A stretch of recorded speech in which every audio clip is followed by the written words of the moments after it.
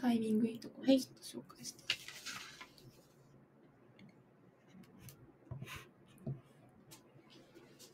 これは？に2本目って意味ですよあ、ね。そうですよ。あ2本目の始めになります。じゃあ行きます。一生返せる。はい、どうぞ。16時30分になりました。カリナの輝く地球チャンネルの時間です。この番組は心と体と自然と向き合う癒しの集いのチャンネルです。プロの癒しセラピストさんや占い師さんたちをゲストにお迎えしながら、今お悩みがある方々に勇気づける言葉や人生がうまくいくヒントなどをお伝えお伝えしていきます。お悩みも随時募集しております。私、カリナのインスタグラム、アットマーク、K-A-R-I-N-A、アンダーライン、SHININGE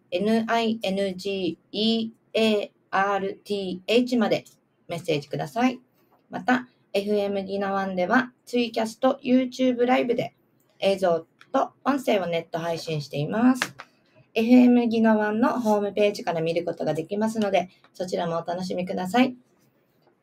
ツイッターも連動してますので、たくさんツイートしてください。そして、サイマル放送も始まりました。スマホの場合は、リスンラジオ、リスラジから。パソコンでお聞きの方は、FM ギノワンホームページに再生ボタンがあります。この後、17時までよろしくお願いします。はい。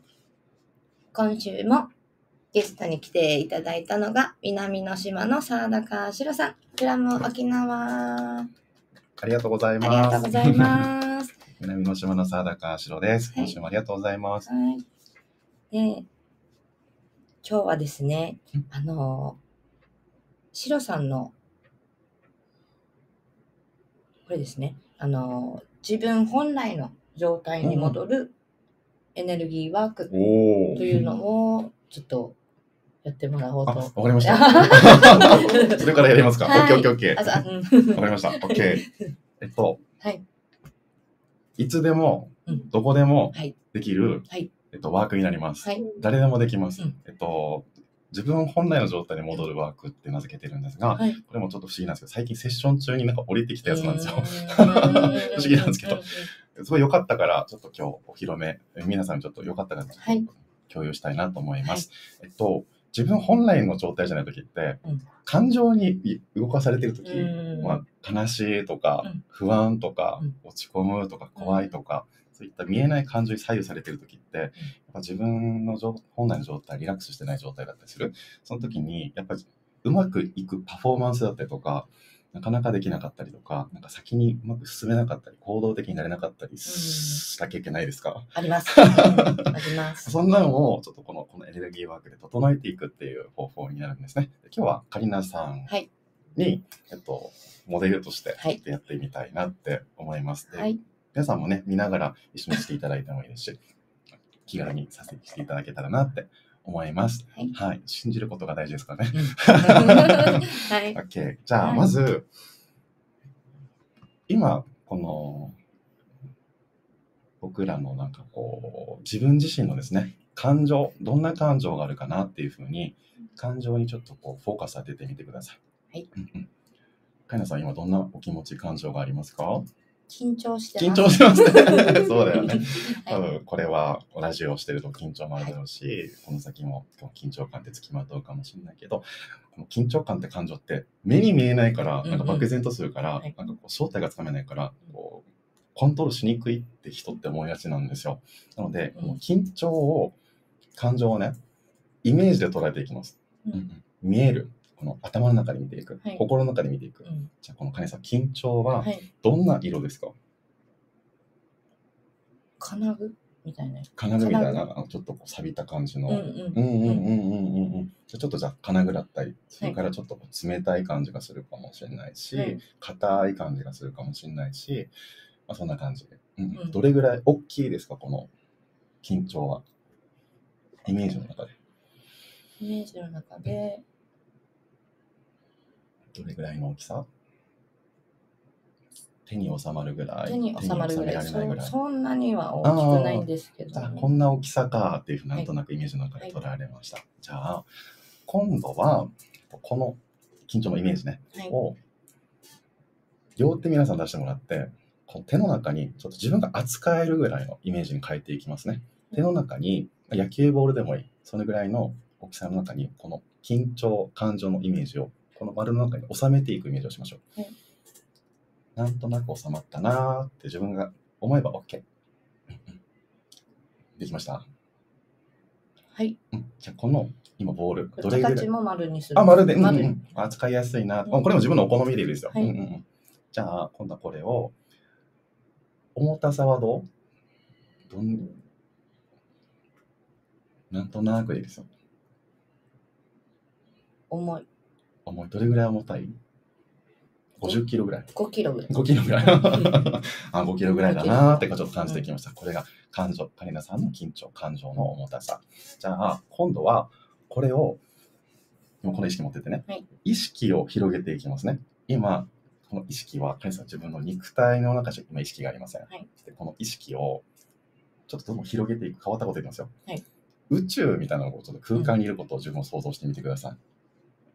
広い広い宇宙の中に私はいるってイメージしてください。とてつもない大きさ。はい 中に一体となっているっていうふうにイメージしてますね。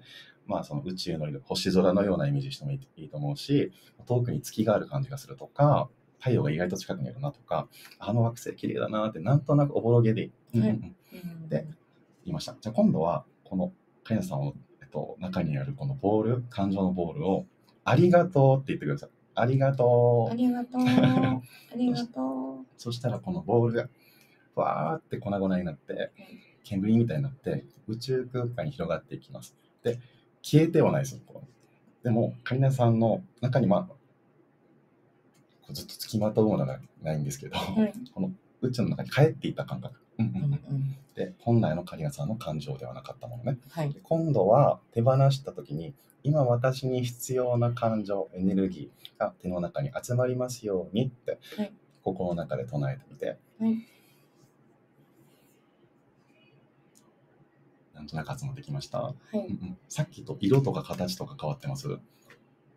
変わってます。どんな色とか形とか感じになってますか？ピンクとうん。緑。おおいいですね。これはどんな感情ですかね？安心感。安心感、うんうん、じゃあこれがカリナさん本来のエネルギーと感情になります、じゃあこれを今度は体内に取り組んでいきますね。胸の中にこのボールを取り組んでいくイメージ。そうするとこの入ったかどうかは自分の体が教えてくれるんですよ、あったかい感覚がするなとかじわーってなんかこうするなとか鳥肌が立つなとかそんな体の変化がありましたか？じわじわ。うんうん、じゃあこれは体は正直なので今本来の状態の感覚が入っていったって感じです。でこれを何か起こるたびに揺れを重ねるたびにやっていくと自分の本来の状態の感覚が分かっていけるから、いつでもどこでも自分の本来の状態ベスト発揮できるような状態になっていきますし、うんおすすめの方法はい。です。うんうんうんあれわかりやすかった。わかりやすい。あ、よかった。うん 皆さんもぜひね、えっと、この、これって残るんですよね、YouTube とかで。残ります。うんうんうんうんうんまあ見返していただけたら嬉しいなと思いますし、うんね、またいいですね。繰り返しやってみたらいいなって思います。なんか動かされてるなって思った時にしっかり感情を捉えてあげて、でも否定しないでそれを感じてるなってはい事実だけ受け止めてあげて、その後にありがとうって返して必要な状態を取り入れていくっていうやり方になります。はい。大丈夫？はい、大丈夫です。よかったはい綺麗な、なんか宇宙がいっぱい見えました。緊張されてるかな？ねえ、うん。すごい、ありがとうございます。ありがとうございますうん。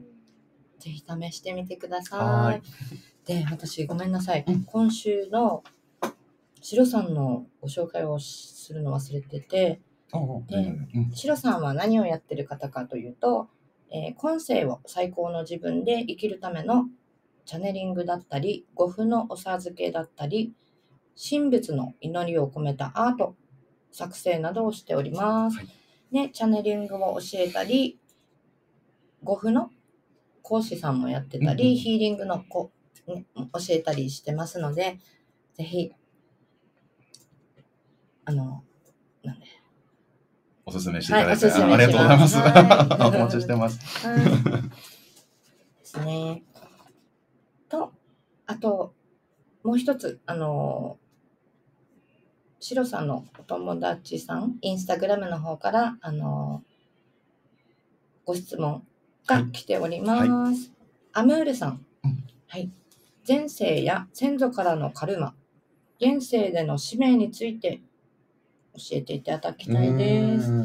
なるほど。えっと、まず、前世って呼ばれるものについては、僕たち何回も何回も折り替わりを経験してるっていうふうに言われています。もう何百という人もいれば、すごい数えきれないぐらいの人生経験僕らみんな経験してるって言われてます。で、ご先祖様だってそう、お父さんとお母さんのメタドって言ったら、そのおじいちゃんおばあちゃんがいて、その場にもどんどんどんどん信じられないぐらいのご先祖様の数がいて、でそこでカルマっていう概念なんですけど、なんかカルマっていうと、なんか悪いことしたとか、うん、あいけないことしたみたいな、なんか罪みたいな。な、うん。かその意識があると思うんですけど、そのご先祖様とか前世で悪いことしたから、私は今こんな不遇な状況で不幸なんだ、みたいな、なんかそんなイメージが今世の中にある気がするんですよ。うんでそんなことは一切なくっうん。て、僕の捉えてるカルマっていうのは、過去やってたこと、ご先祖様にね、感じてきた葛藤のことを捉えてるんですね。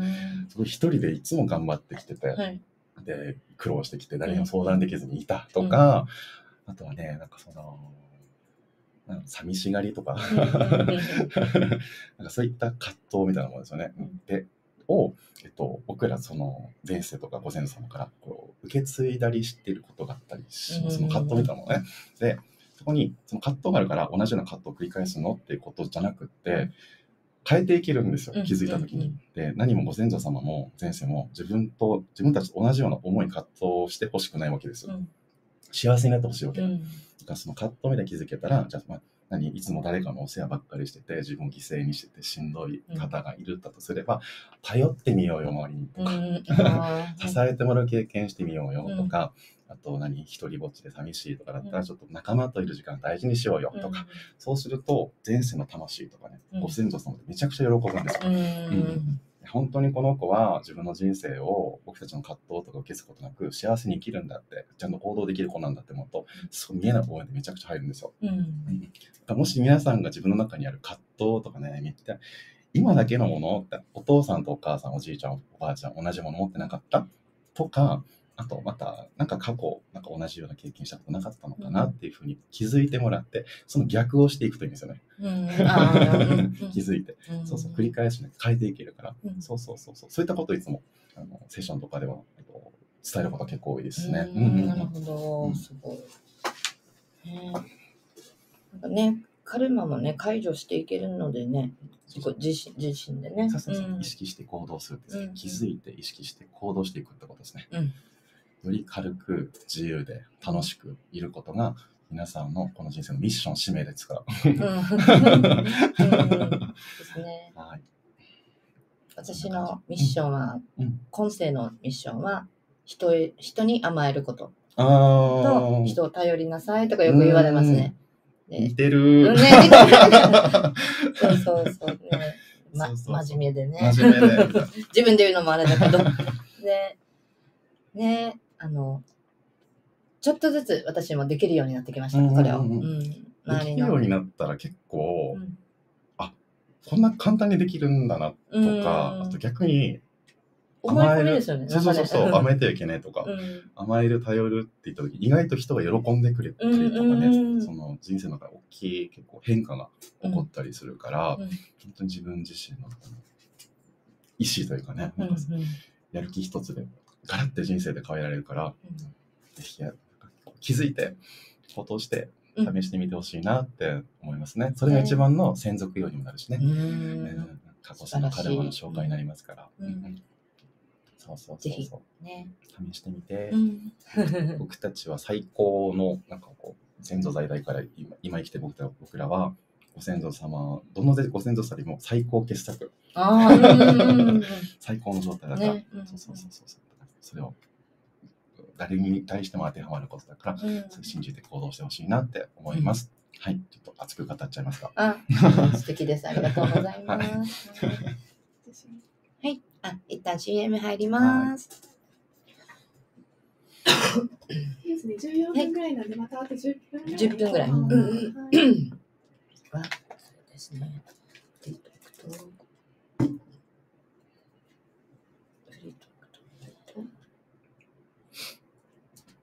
れさっきの、これか。フリートークですね。はい。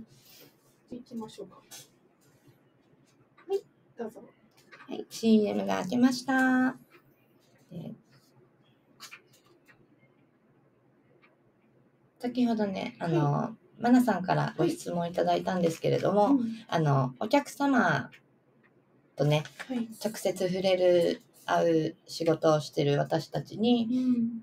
ね、お客様から逆にネガティブなエネルギーをもらっちゃって体調を崩さないかとか、ね。そうですね。あ なんか、ね、なんかそこがちょっと気になって、はい。まあ、ご自身の、なんかそういう、もらっちゃってとかっていうのあるのかなと思って、うんちょっと気になったんですけど、いかがですか、もらう時はもらうんですけど、やっぱりもらってちゃ大変なので、うん。私たちはもうガードをして、イベントでもお客様のね、触るときに、なんていうんですかね、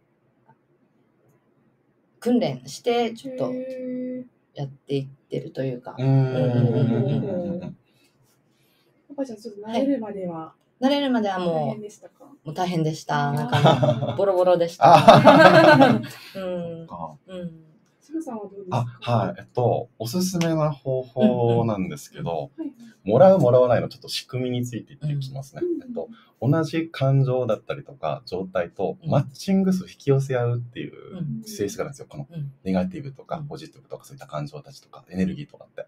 だから、えっと、自分をいかに心地いい状態を保つかっていう、うん。リラックスした状態に保ってているかっていう、うん。そのマッチングを起こさないように、うん。その自分の居心地、波動みたいなのをちょっと調整することを意識なんですね。うん。なので、身にまとうものでもうん。自分の気持ちのいい感触になるものを着てみる、気分の上がるものを着るとか、うん。色をまとってみるうん。とか、好きな香りを嗅いでみるとか、あとなんか時には、いい音楽を聴いておくとか、うん。あと、なんかシンプル、ちょっと感情って呼吸に左右されたりするから、やっぱり自分が落ち込んでたりとか怒ってたりとか荒ぶってたりするとき、どうしても息って浅くなるんですよ。うんそういう時にね、そのお客様のネガティブとちょっと同調しやすくなっちゃうから、うん。あえて、こっリラックスした状況、うん。あの自分の調子、うん状態を保つために、深呼吸とかね、うん。細く長くゆっくりしたっていうところを意識してみたりとか、うん。だから自分をそういったもので、自分の居心地のいいもの何っていう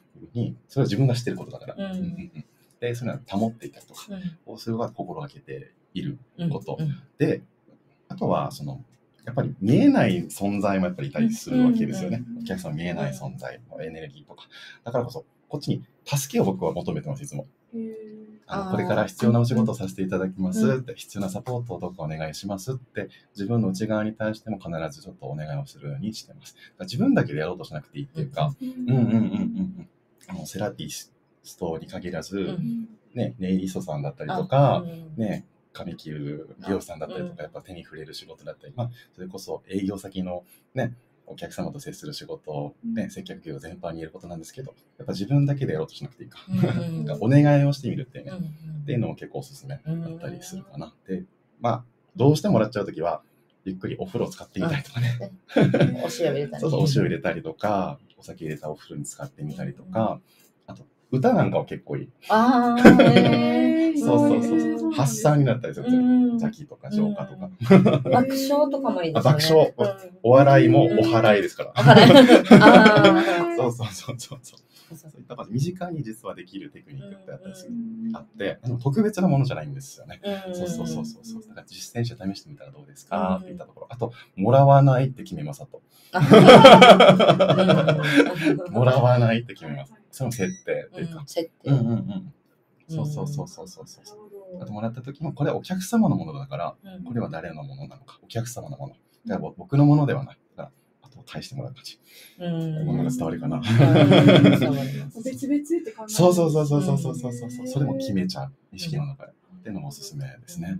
うんうんありがとうございあます。よかった 意外なね回答が出てきたりとか、うんすごいねさすがです。へーすごい。ね。うん。私、たまに一人変顔とかやります。あ結構笑われるんですよ。あ いいいいね。い。いですね。試してっては言えないけどね。表情とかもね、うん。そういう感情と左右されたりするから、うん。落ち込んでる時はこんなね、うん。顔、眉、潜めて、うん。そう。口角上げたりとかね、うん。それだけでも結構ここ自分の状態って上がっていくし、うん。